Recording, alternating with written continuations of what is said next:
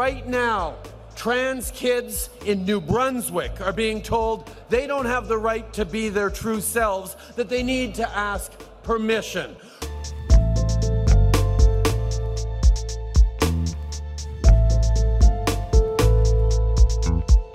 And far right political actors are trying to outdo themselves with the types of cruelty and isolation they can inflict on these already vulnerable people.